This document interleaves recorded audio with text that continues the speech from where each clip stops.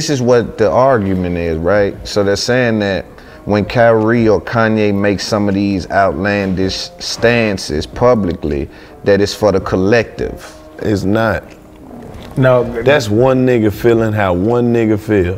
yeah. You could they could interview you tomorrow. You could be on Good Morning America, and you go on there and say, your whole mind might change. You might get on right in front of the biggest audience you ever been in front of, and be like, I feel like real niggas should get their dick sucked every morning. Yes, Lord. And they be like, Why the fuck you say that? I don't know. I just something in my spirit told Yeah. me to say that. Yeah, yeah. And you as a black man need to support how the fuck I felt in a moment that I felt like that. That's we ain't discussed this. Yeah. We ain't went through no drill. Yeah. The fuck I need to valid? No, I don't Yeah. agree with that logic. I don't Yeah. want my dick sucked every morning. But that's what I'm saying. Damn.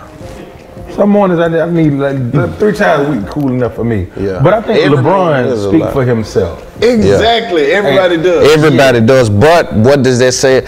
We can't ignore that some people have influence. Then we'll hmm. be doing ourselves a disservice. Hmm.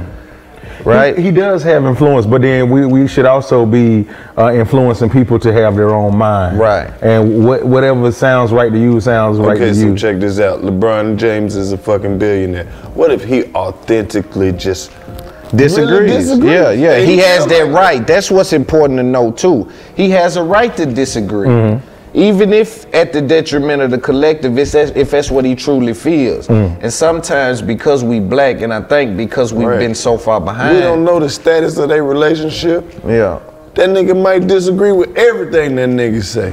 yeah, and I mean, Ask him some more shit. That- I mean, he got a right to since When disagree. did you start Yeah. asking this nigga about this nigga? yeah. Ask him some more shit about him. Right.